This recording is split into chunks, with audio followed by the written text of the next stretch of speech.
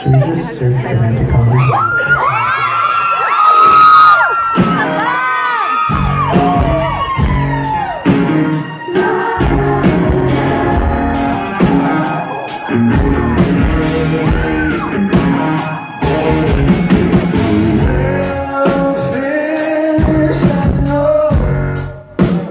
I don't ever